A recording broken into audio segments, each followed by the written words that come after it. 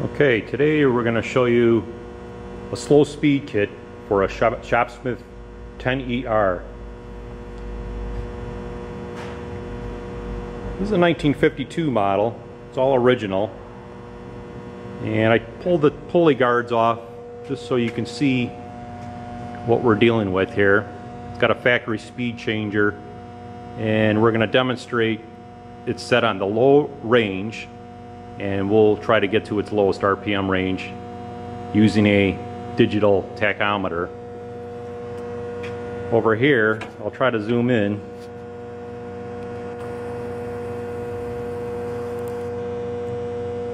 To the right is the slow speed kit.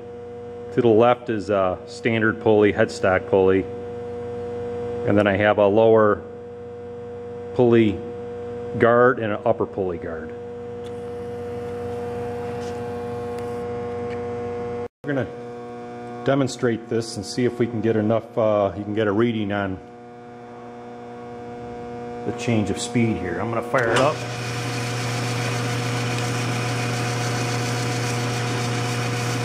If we can make that out.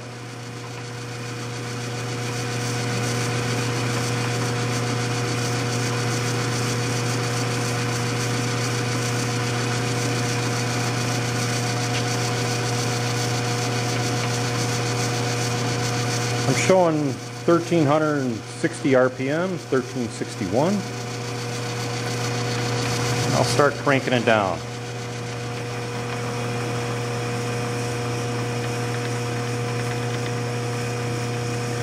It's about 930, 928, 929.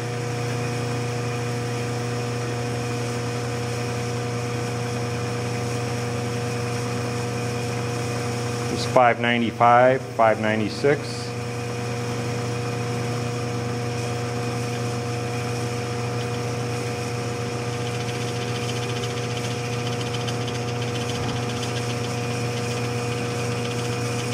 I'm getting about 440 right here. Okay, this is the slow speed kit mounted. And just to give you a quick idea on it, it's going to slow uh, slow those ranges down right where you need it for rough and in stock, big bowls, or starting to work on some larger pieces. Maybe you want to turn some larger diameter columns or what have you. This is also shown without the, the cover on it. Just for an example, you don't want to run this without this pulley cover on it at any time. I've also shown it without the special purpose tool SPT adapter hub. What's nice about it, if you have it, you just put it on and tighten it up. It's mounted flush to the pulley. Um, as you also notice, I kind of keep a little bit of slack on both top and bottom. That's more than sufficient. And uh, there's a lot of grip with this type of a belt. This is a cog type belt very well gripping to it and it's all everything here is made in the United States.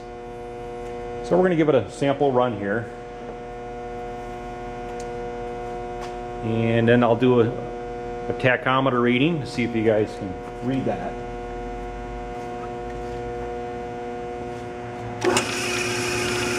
Alright we're running at the higher speed.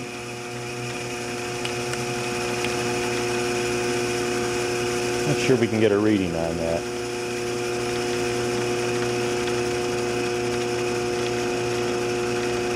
Let's see if we can. Right now I'm showing about 700 and 705 RPM, 704, and we will reduce that.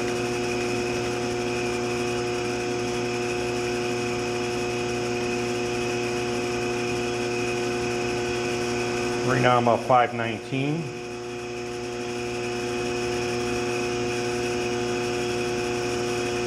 Now we're down about 325, 321.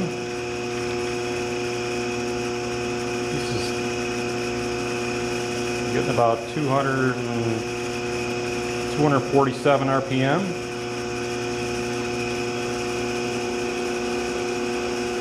We're probably bottoming out here. Getting it down in that 214 RPM, 213, 211. So that gives you a, an abundant amount of torque. It's really a nice slow running speed. 208 RPM.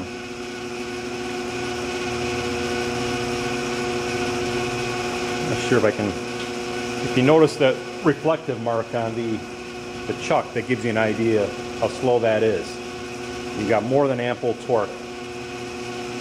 So I'm going to stop it and I'll put the SPT adapter on it and show you, to you what it looks like with the shield on it.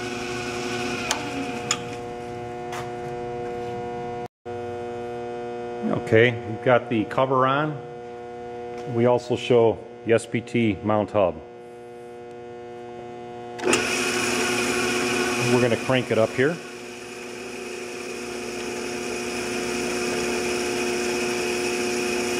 And everything clears. Got this pretty good clearance around it. This is all stainless steel. It's not painted. It was media blasted and we put a shoot of clear coat on it. You may want to paint it to match your machine. We'll leave that up to you.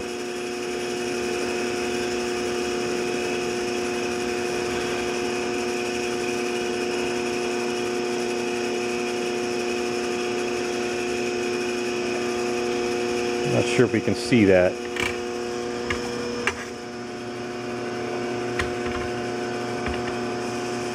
Try to get an angle here. You can get a good readout on it.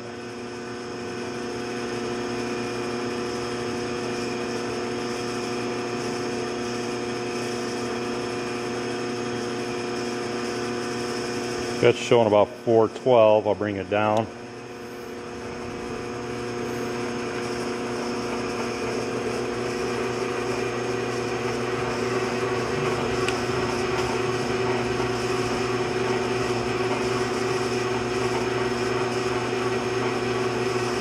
Let's see, I get out of the glare here.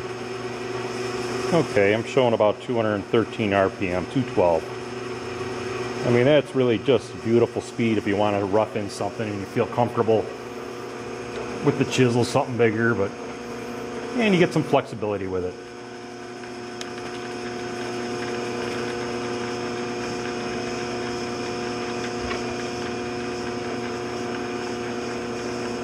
You can also use this setup is really ideal for large boring, horizontal boring or in the drill mode.